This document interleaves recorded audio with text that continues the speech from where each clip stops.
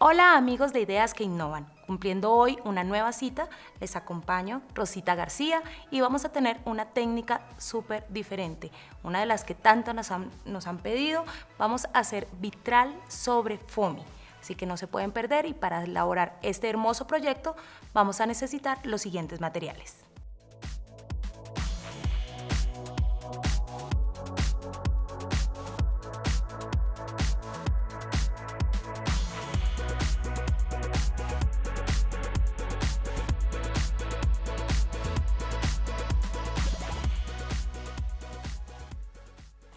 Bueno, para este proyecto vamos a trabajar una imagen de una mariposa, de un ave, lo que ustedes quieran plasmar sobre la técnica, la vamos a bajar en blanco y negro de internet, cualquier figura, y vamos a trabajarla y marcar todas las líneas que tiene nuestro dibujo, las vamos a hacer con lápiz.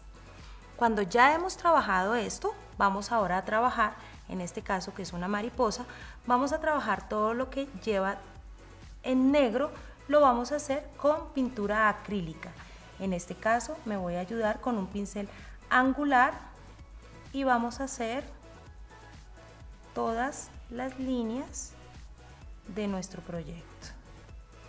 Esto nos va a ayudar a nosotros para que en el momento que vamos, vayamos a trabajar la técnica del vitral no resbale y no vaya a quedar contaminado nuestro proyecto. De esta forma, siempre vamos a buscar trabajar con acrílicos de muy buena calidad. Si nosotros estamos mirando este acrílico, solamente necesitamos una base para que nos dé el cubrimiento que nosotros necesitamos. Trabajamos siempre las pinceladas que nosotros vamos a trabajar, las trabajamos de forma continua para que no nos vayan a quedar residuos de pintura y vayan a quedar grumos que en el momento de la laca y en el momento de hacerle una terminación se van a notar. Entonces siempre buscamos barrer muy bien la pintura para que no nos queden espacios ni excesos de pintura. ¿A qué llamamos excesos de pintura? Acá cuando nosotros hacemos esto y trabajamos bastante carga de pintura, aquí nos van a quedar como unas líneas. Entonces esas líneas van a quedar en un relieve que en el momento que nosotros hacemos eh, un terminado con la resina o un terminado con laca, esos residuos se van a notar. Entonces siempre que nosotros estamos haciendo un tipo de proyecto como este, vamos a buscar que no nos queden esos terminados. Siempre en los terminados tenemos que buscar que sean terminados perfectos. Esa es la calidad y el toque que ustedes le van a dar a sus proyectos.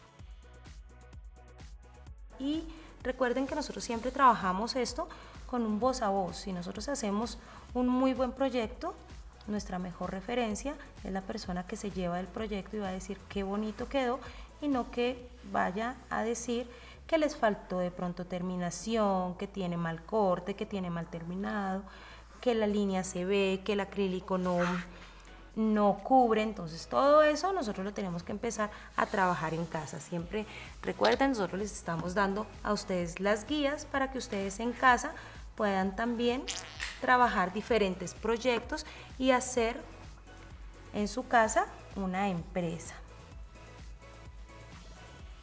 el día de hoy. También nos está acompañando Colrevistas para que ustedes puedan participar en la rifa.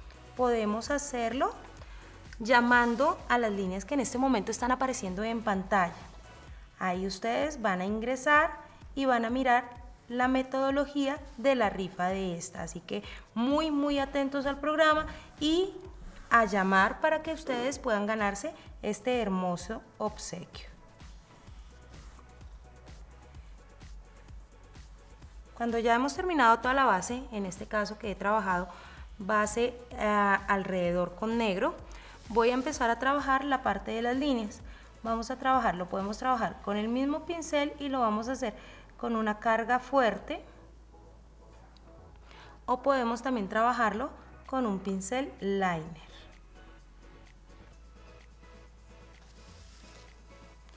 vamos a hacer las líneas de división. Estas sí pueden quedar un poco gruesitas porque esto nos va a impedir que filtre el material que vamos a utilizar a continuación que vaya a filtrar de pronto entre color y color y vamos a dejar secar muy bien las líneas para poder hacer lo que nos va a dar a nosotros la imitación vitral tomamos esto en cada una de nuestras alas si nosotros estamos trabajando un ejemplo Em, un pájaro, si estamos trabajando otro tipo de figuras, siempre buscamos en la, eh, descargar nuestra imagen a blanco y negro. ¿Por qué a blanco y negro? Porque ella nos va a dar nosotros este tipo de divisiones. Cuando tenemos este tipo de divisiones, el, mm, el material que nosotros vamos a trabajar nos va a dejar a nosotros la guía para poder hacer todo lo que nosotros queremos con esta técnica. Ya tenemos plasmado toda la parte de negro, ya hemos hecho las líneas. Ahora voy a trabajar la parte de la imitación vitral. Vamos a, a empezar con la parte interna del el ala. Hago nuestra forma, en este caso estoy trabajando un vidriado transparente y voy a rellenar. Cuando yo ya tengo todo nuestro espacio totalmente lleno, vamos ahora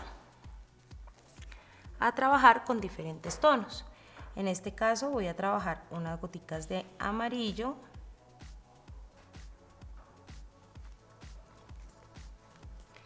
y me voy en el centro, vamos a trabajar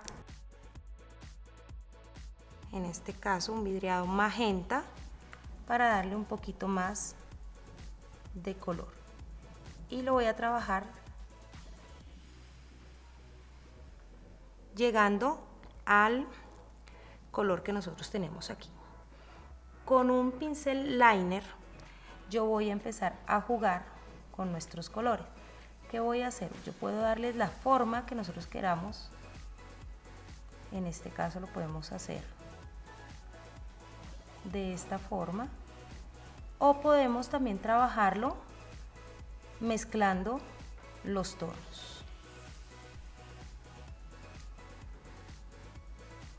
Así nos va a nosotros a dejar una sensación totalmente diferente. De esta forma vamos a trabajar los contornos de nuestra mariposa. Vamos a hacerlo. Voy a trabajar todo el bordecito de cada uno de nuestros cuadritos que hemos dejado.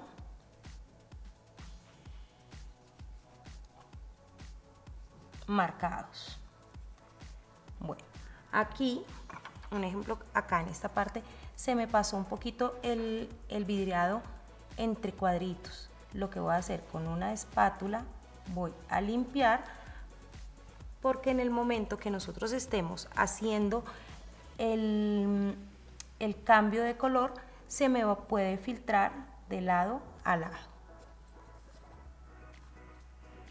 Buscamos siempre trabajar en superficies que nos queden completamente planas porque este material, voy a mostrarlo acá para que lo coja muy bien la pantalla, y este material es demasiado líquido. Entonces, si yo voy, doy la vuelta, él inmediatamente va a correr para donde tengamos nosotros el desnivel de nuestra mesa. Entonces, siempre que nosotros vayamos a hacer este tipo de proyecto, busquemos irnos a superficies totalmente planas.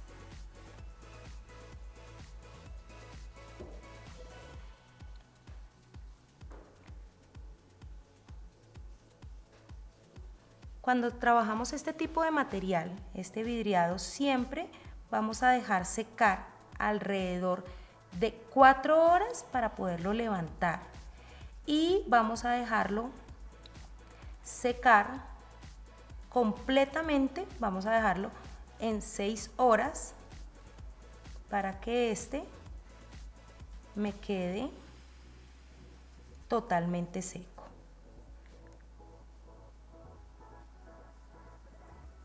Cuando nosotros estamos trabajando el vidriado, nosotros no solamente lo podemos trabajar en figuras, sino también lo podemos trabajar sobre superficies. Un ejemplo, eh, para, este, para este proyecto la mariposa va a descansar sobre unas hojas y este proyecto lo van ustedes, eh, vamos a poderle hacer gotas, le podemos trabajar con diferentes terminados que podemos ayudar ya que este nos da brillo y me da a mí una terminación más real a la parte de este tipo de cuadros.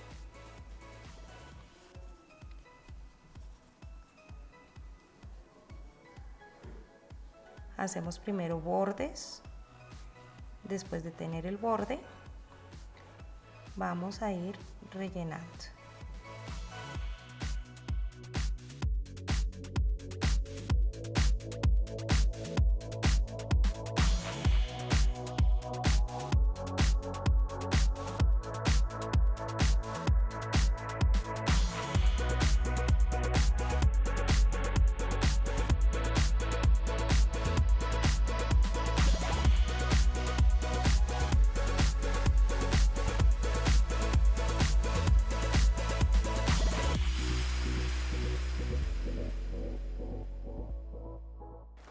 Aquí ya hemos aplicado el transparente en, todo, en todos los lados.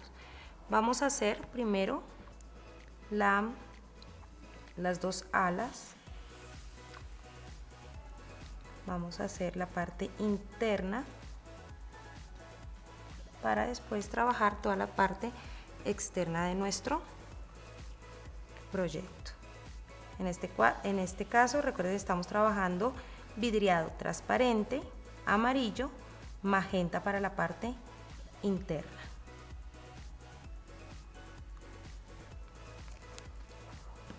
Vamos con un pincel liner y vamos a ir jugando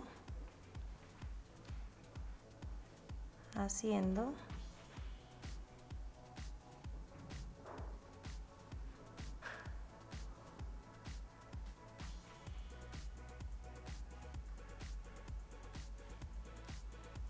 nuestros diseños.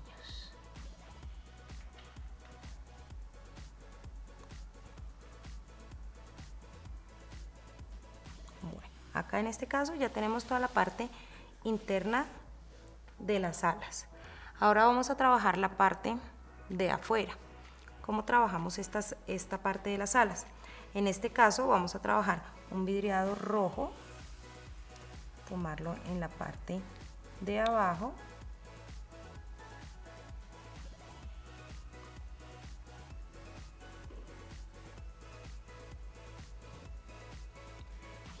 Cuando nosotros estamos de pronto trabajando y que eh, la superficie de pronto se corre, que a nosotros se nos, mm, se nos mueve, que se va más para un lado, dejamos secar y después de que él esté totalmente seco, podemos rectificar nuevamente con el mismo producto y podemos hacer el retoque a las figuras. No nos asustemos que de pronto, ay no, es que aquí se me, se me corrió yo no me di cuenta y aquí me quedó más, aquí me quedó menos. Simplemente dejamos secar y cuando él seque, simplemente lo que vamos a hacer es tomar nuevamente nuestro producto y volvemos a hacer el mismo procedimiento. Tomamos nuevamente nuestro pincel y voy a jugar lo mismo con los dos colores que estamos trabajando pincel liner me deja a mí darle toda la forma que queramos a nuestro proyecto. Este material, muchos nos han preguntado si este material es el mismo vitral. No, esto se llama vidriado, es lo que da la imitación vitral, pero el vitral es otra técnica que prometo más adelante también traérselas.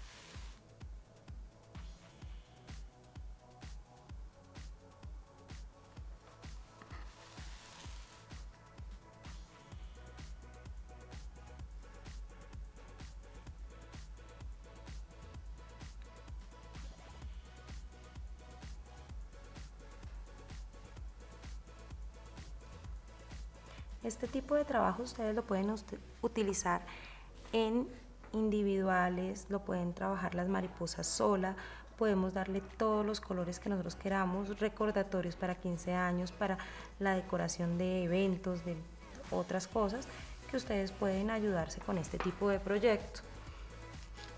Cuando nosotros tenemos ya nuestra mariposa, ya con toda la parte de vitral, vamos a trabajarla sobre fondo. Nosotros aquí ya tenemos un proyecto terminado, pero si yo la quiero tener con mejor, mejor acabado, voy a trabajar un fondo.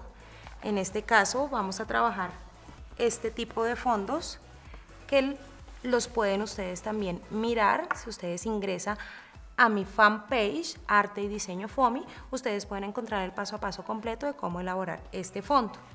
Cuando ya lo hemos elaborado, simplemente voy a tomar, en este caso vamos a hacer eh, con el material vamos a hacer unas hojas que las vamos a poner del mismo material en diferentes formas. Ustedes lo mismo pueden bajar los diseños por internet, los pueden ustedes buscar y lo que vamos a hacer es sobreponerlo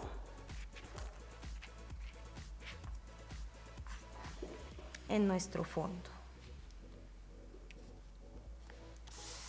Bueno, acá les voy a mostrar un ejemplo aquí que se me salió el pegante, entonces ya está la pintura totalmente lista y nos, muchas de las personas se asustan porque nos pasa esto, no hay problema, simplemente vamos a hacer golpes continuos donde quedó el pegante y esto va a hacer que el pegante se retire sin maltratar la pintura que nosotros tenemos de fondo no nos asustemos cuando nos pase eso en casa, simplemente vamos a hacer golpes continuos y de esa forma vamos a retirar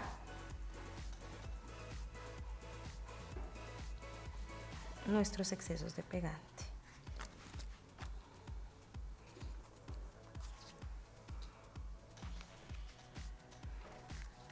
Aquí lo único que yo voy a hacer es sobreponer muy bien